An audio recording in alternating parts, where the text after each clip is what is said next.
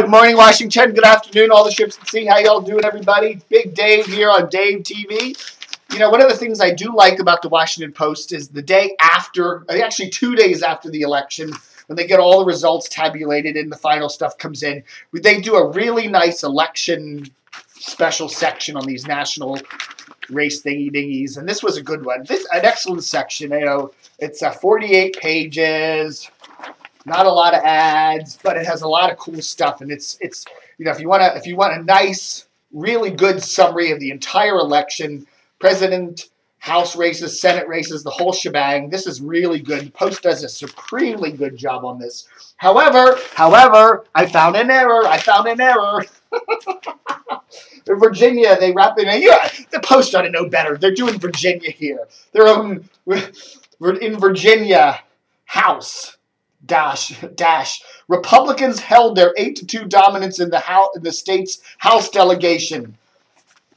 That means there are eight Republicans and two Democrats in the House uh, delegation. Okay, according to the Post. Well, you know, I know that uh, you know the, those two are Connolly here in my district, Northern Virginia, and uh, Jim Moran over there in Arlington.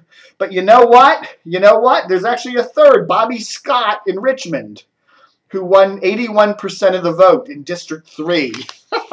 three! There are three Democrats in the Virginia House delegation, not two, as the Washington Post reported in its election. You know, I know that. I knew that without, and I'm not even a political reporter. I knew they had three. Um, so anyhow, Post screwed it up again. I tell you, this paper just, you know, they even though this is an excellent section and I highly recommend it and it's very well done and good stuff in here. They did, they did uh, get a Virginia, a Virginia thing wrong. Uh-uh. Oi. It would have been nice too if they had taken these uh, these state breakdowns like Virginia and Maryland there of the presidential race and the Kaine race, Kaine Allen race. If they had made those a little bigger and put them in color, but you know, what's that's just me. What do I know? Okay, the big news today. Big news today. Larry O'Connor is now the new uh, morning show co-host on WMAL.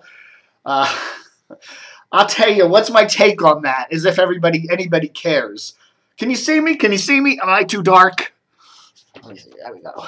Hey, um, I, have been listening to Larry. He's been co-hosting on the show the last couple days. He did their election coverage the other night, which I didn't listen to, but I wrote about it. Uh, I like. I think he sounds great. He has a nice voice for radio. He has a nice. He sounds great. I think he'll be great. Um, the only thing I find a little mysterious about WMAL's choice is I really, really think if WMAL is going to go for the if they're really sitting there looking at the total station they need to mix it up more with with opinions. You know, Larry is a conservative, just as Brian Neiman, and it seems to me, and Brian, excuse me, Brian Wilson.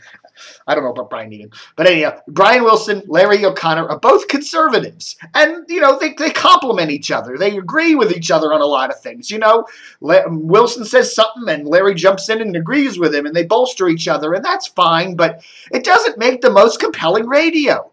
And I'm telling you, one of the things they're talking about with the Republican Party these days is the party needs to be more diverse. They need to appeal to more than just white men. And I think the same is true for WMAL. They need to appeal to more than just white conservative men. It's, it's, there's nothing wrong with having a conservative leaning show or have conservative hosts on your station. I have no problem with that. But they really need to mix it up more in the mornings. They really need to have somebody who's going to clash with Wilson a little bit. You know, more of a, li a liberal conservative mix on the show. You know, and that makes better radio. I'm telling you. I mean, I'm, i listen to WMAL these days. I put on the morning show when I first get up, and I'm usually tuning out after 20 minutes, half an hour, because it's just the same. These two guys basically agreeing with each other. It's and, and that's fine, but it doesn't make the most appealing radio. It's not fun to listen to. Um, you know, it's it's stuff like that. You know, it was like listening to Don Geronimo all those years, and he's a wonderful host, and I really enjoyed his show. But what you liked about Don Geronimo was how he would go right up to the emotional cliff, and sometimes go over it, and watch you know watch the wreckage almost. I really kind of want to hear more exciting stuff like that on WMAL's morning show. I want to hear more mix-up stuff. They, they ought to have a Republican and a Democrat or a liberal and a conservative good-naturedly going at it. You know, I don't want to hear them yelling and screaming at each other and storming out of the studio, but to have some kind of a mix. I mean, somebody like Mike O'Meara actually would have actually been a better choice to me. You know, I you know I know he's out of left field, but he's a liberal. He you know has O'Meara. He has um Obama signs on his front yard and people send nasty letters to him. But that would make it an interesting show. Uh, you know, a conservative and a liberal going at it every morning good naturedly. That would make an interesting show. You know, I think Larry will be fine. I think WMAL will be fine. But I, you know, the station needs, if they're really looking at getting better than 15th, 16th, 17th place, you know, they did get a little surge from the election. I'm sure they'll probably they'll pop up a little bit. But if they want to get more younger people listening, if they want to get more blacks and and a mix it up station, more younger people, more Hispanics listening that Latino, they need to mix the whole station up and and give us more diversity in the opinions. Right now, it's all white men. You look at you look at Brian Wilson, you look at the new Larry O'Connor, you look at Rush Limbaugh, you look at Sean Hannity, you look at Le- Mark Levin. You look at uh, you know Batchelor, Batchelor in the evenings. You look at that overnight um, trucking network shit show, the Midnight Network. I mean, it's all white men all the time. you know, I, I don't know, man. You know, put you know at least Mary Katharine Ham, even though she was a conservative. She at least had a female, finally, at least a female on the station. I mean, it just seems like in this day and age of 2012 with a black president, and you know, we, we could at least go beyond and have more than an entire white male programming staff at a radio station. It just, you know, you're the you're trying to build yourself as the top talker, news talker in the Washington market. Uh, look at look at if you look at the I, I'm not going to find the page here. If you look at the presidential race you look at it, all these counties Montgomery, Fairfax, Arlington, Charles, uh, Prince George's, Howard, uh, Prince William, Arlington, Alexandria, all went for Obama. That's the core of DC. Uh, that's the core of WMAL's listening area. It's heavily liberal Obama country. You know. Now that doesn't mean there shouldn't be a station here that's kind of you know nudging us in the other direction. I'm not saying that you know there's anything wrong with that, but you know if WMAL wants to get um, if they want to get, you know, looking at a regular place in the top 10, maybe hitting it a little more at WAMU, which I think maybe they should be going more for WAMU because it's more of a long form talker than WTOP is.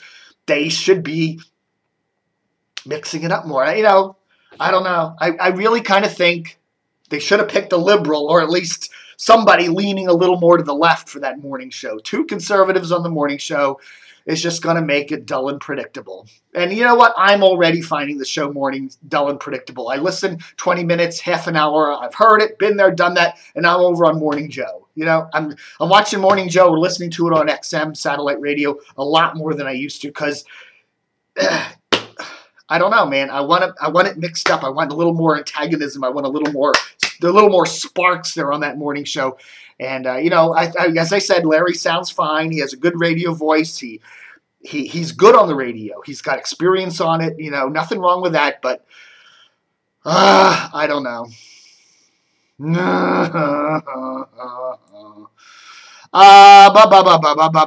uh, what else are we going to report? You know, that's about it for today.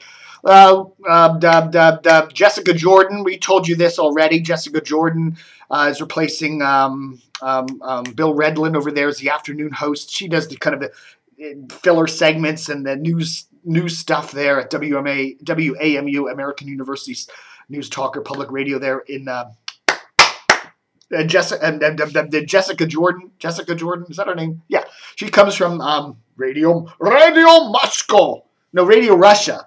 You can hear Radio Russia in English on 1390 W. Um, I still call it WEAM, WZHF here in the Washington area. And I also believe that they do that RT thing, don't they? That Radio Russia Today thing you see on cable TV in, in very American English, by the way. All right, that's Dave TV for today. Thanks for watching. This is the 8th, the big old 8th of uh, November 2012. Uh, Pax Wobiscus.